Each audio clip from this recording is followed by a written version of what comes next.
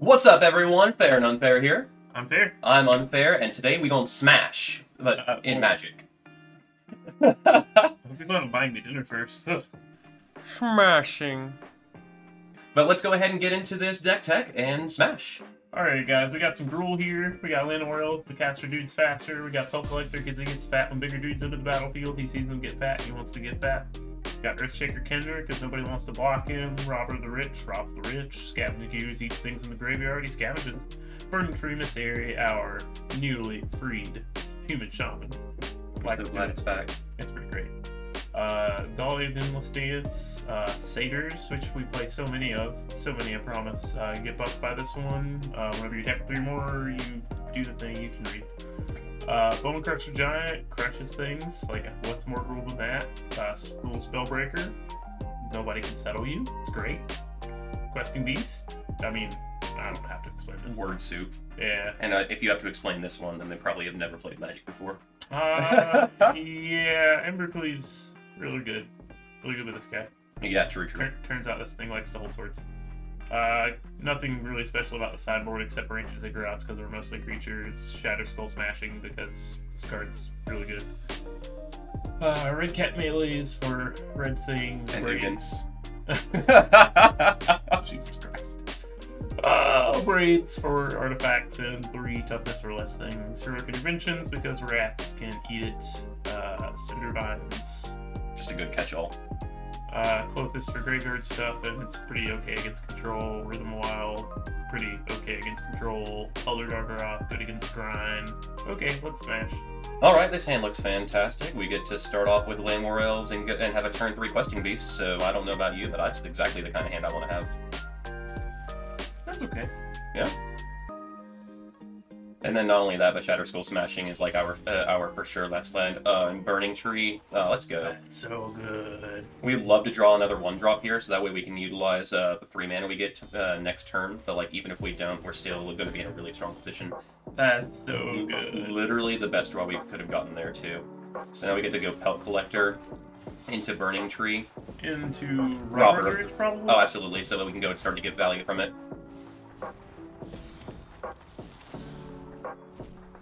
And we got exiled a land, I guess. Yeah. Yeah, this this deck is just extremely powerful because of the fact that it's able, like, they, they're spending so much time, like, doing things. Like, they're gonna have one big spell next turn. You just bolt this in. Yeah, absolutely. And then smash a Questing Beast in and attack for a lot. Uh, yeah, it seems like an okay one. Yeah, so the opponent literally has to go Ugin into minus four in order to not die. Four, five, six, seven, eight. Yeah, they have exactly that mana. And that's not it, so we win. So you just double Khenra. Epic. Wing. Yeah. It's And amazing that you can. Holy shit. yeah, this is such a like a, a lot of the two drops in this deck have haste, so that way you can utilize um, the Burning Tree Emissary's ability even more so. Like you've got Robber of the Rich, you've got Earthshaker Khenra, and you've got Gallia is what her name is. Margalia. Yeah, The endless dance. literally all those cards have haste. So like whenever when when you're trying to go on the, your like your last couple points of damage in, you can go Burning Tree into a couple creatures, or you have just creatures that are immediately attacking for extra damage. I don't know about burning trees, man. You've seen California. Oh. I mean, was it a boy or a girl? It was a boy. and um, yeah, that's a turn four win in historic. Uh, we cannot keep this, unfortunately. Um, it'd be really great with one more land. We would 100% keep this because, especially with the braids, it would be just so powerful. But we cannot afford to skip even one land, miss one land drop. Um, this is literally the exact same but worse, so we're gonna roll that as well. Uh, this is strictly better, so we can keep this. Probably put the Shatterskull Yeah, shadow And- to the bottom. and Oh, one of these to the bottom as well. Yeah, probably. Yeah, so that way we have our Stomping Ground for double colors, and then uh, we have enough spells that'll do stuff. Llanowar Elves is great. So yeah, it's like this is honestly one of the best like This is fives The I've new best archetype. Absolutely, Well, you again, best archetype. yeah. Being being able to just be this aggressive is really nice. They're being pretty aggressive too. They're scrying with an untap lane. Ooh, let's go. So we're gonna play this as a green source and I play it as a red source. I mean, that that was definitely a good option as well, but I, I don't know. It only matters if you're screwed off of red when by the time you need to cast an Embercleave or something. Yeah. But other than that, like we're trying to avoid losing life in random scenarios. I know it doesn't really matter in this specific matchup, and that's a great draw too that we can play next turn. So we're gonna go Burning Tree into Robber of the Rich. Do that or Gallia. Ooh, we could actually just play the Gruul Spellbreaker. Oh yeah, you're right. I, I forgot that it, you can use the extra mana as well, and put, just put a counter on it too. Yeah, we can just get enough next turn. Absolutely. Well, if there's another land. Another land would be ideal as well.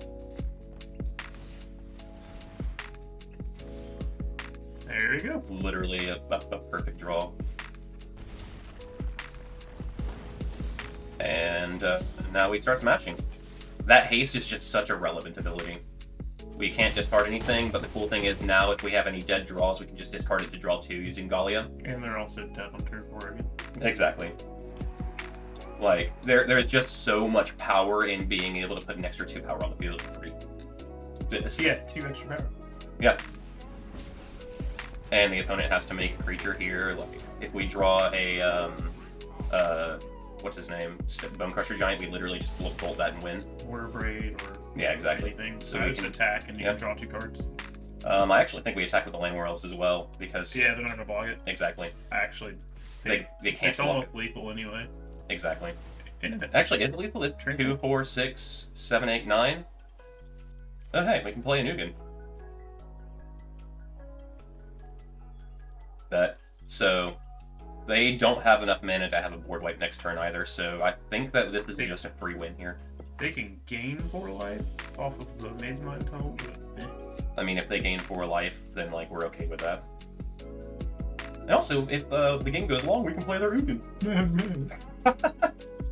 Sometimes it feels really good just playing like a really strong aggressive deck, and um, that this is the reason why. You can you can see like the the opponent doesn't have much else they can do, and they also miss block here because Gruul Spellbreaker has trample. I Um, would keep the Ziggurat in your hand. yeah, um, actually, I'm not even going to cast this either because Yeah, no, they- yeah, exactly. We can make something unable to block. So they have to have a way to wipe the board or they lose. So yeah, now like if they they crack the Mazemind Tome, they gain four life, whatever, doesn't matter. Um, Doesn't matter. Yeah, we're like there are very few things the opponent can do here that'll actually affect us. Yeah, now we like we, we, we have we have lethal on board without even having to do anything else, but we can do more, which is great. Like at, like, Like look that. at that. Absolutely. So now we can we actually are okay Just with go ahead. basically doing everything because we can play the uh, actually You just go ahead and upgrade the uh, Karn token. yeah. And then we also make the Mazemind Tome unable to uh, block, and that's how you win. Um, It's uh, very, very swift smashing. Exactly. This th- this is just the power of having a really strong aggressive deck. Um, but yeah, don't forget to follow us over on Twitter on uh, and we uh, stream every single Friday from 7 p.m. to 1 a.m. Eastern time. Uh, if you want to find any of those links below, and we also have a Discord where you can t- come talk to us about other decks. Sometimes we play some really cool jinx. Sometimes we play stuff that wins on turn four three times in a row. Sometimes we smash. Absolutely. Yeah, thank you so much, and you guys have a fantastic day. Can't tell them what to do.